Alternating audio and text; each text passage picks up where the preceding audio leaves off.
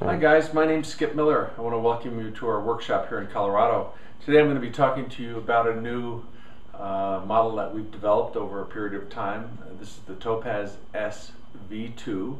I'm going to walk you through how the Topaz was developed over the past three years and show you some of the design improvements. So with no further ado, let's jump right into the Topaz SV2. This is the original uh, Topaz that uh, uh, fuselage and uh, there was a wing and stab that go with it, of course.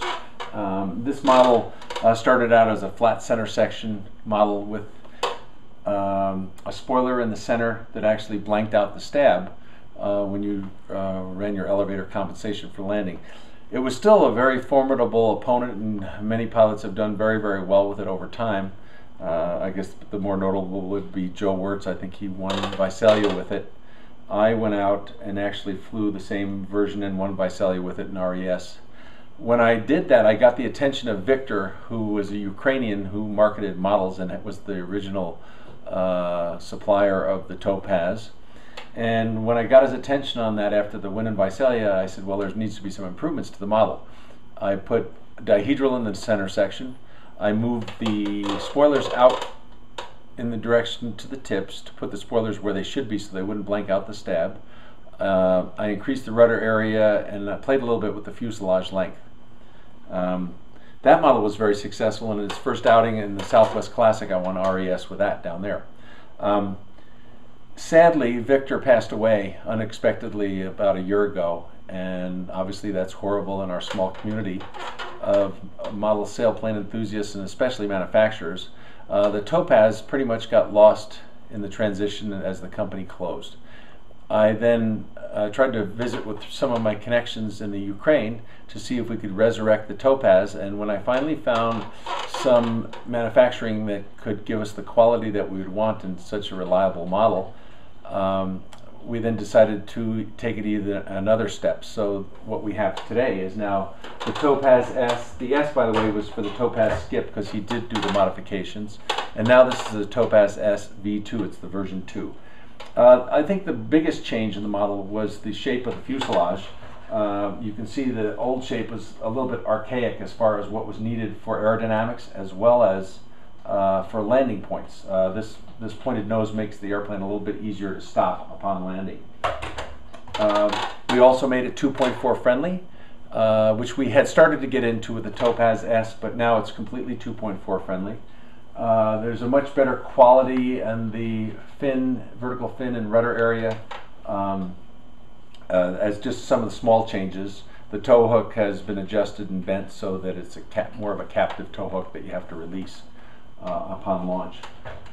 Uh, this is the the wing of the Topaz SV2 and the spoilers are now a little bit more composite.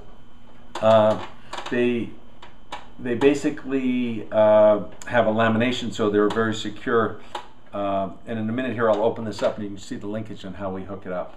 Uh, that linkage was provided by one of our customers, Ray DeNoble, who did a very clever linkage relationship and what you really want in a um, RES is when you're towing them, if you use a rubber band on the uh, spoiler mechanism, the spoilers will actually suck open on a hard tow. So you really don't want that. You really want a firm linkage that when the spoilers are pulled down, they're pulled down and won't go up unless you tell them to. Um, so this is the assembled Topaz SV2.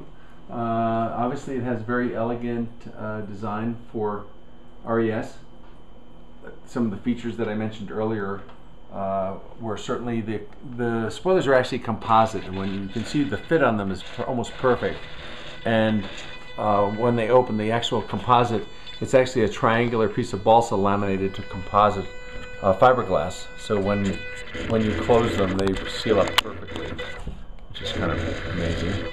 Uh, you can certainly see the quality in here of the spar construction and the caps on the carbon uh, caps on the ribs. Also, I increased the aspect ratio of the V2, so it's a little bit more span, uh, which helps the model. And uh, as far as other changes on the V2, it was the fuselage, a little bit more rudder area, uh, increasing the span. The amazing part about the model, when it's all when all is said and done, and we'll do some, we'll have the model assembled here so you get the whole picture of it, is it weighs 35 ounces ready to fly. So when we do our flight testing on it, up at a local park, uh, you'll get to see the advantages of the 35 ounce RES Topaz V2. Um, we have a number of them out flying. People are, are doing very, very well with them. I'll be campaigning this in RES. This is uh, certainly my uh, interest is in the unlimited airplanes, but I do fly RES in the bigger contests just to do a little bit more flying when we're out of town. Um, the the inside of it is fairly sanitary. It's very simple, straightforward.